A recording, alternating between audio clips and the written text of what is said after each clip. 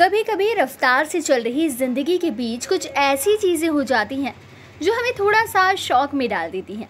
और सोचिए अगर ऐसा हो कि जब आप अपनी गाड़ी या कार से किसी हाईवे रोड पर चल रहे हैं, जहाँ एक के पीछे एक गाड़ियाँ चली जा रही हैं, अपनी स्पीड में लोग निकल रहे हैं, आसपास क्या हो रहा है किसी को कोई मतलब नहीं।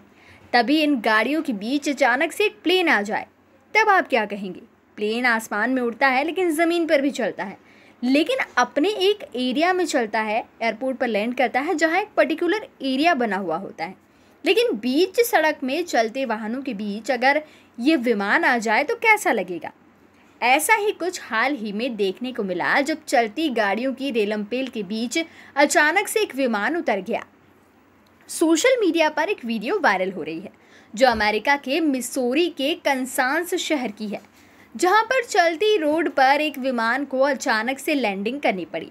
उड़ते हुए विमान का इंजन फेल हो गया, जिस वजह से पायलट को विमान की आपातकालीन लैंडिंग करवानी पड़ी। जब इस विमान ने उड़ान भरी तो अचानक से ही इसके इंजन में खराबी आ गई और पायलट ने इस इमरजेंसी के चलते सड़क पर लैंडिंग करवाई।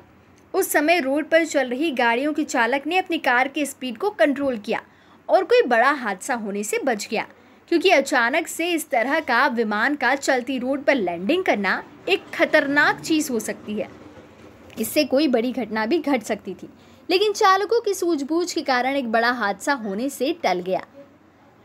साथ ही सड़क पर विमान की सुरक्षित लैंडिंग हो गई और कार चालक और विमान चालक और किसी भी कार या विमान को कोई नुकसान नहीं पहुँचा। ये वीडियो कार में बैठे हुए एक शख्स ने बनाया है, जो कि सोशल मीडिया पर जमकर वायरल हो रहा है।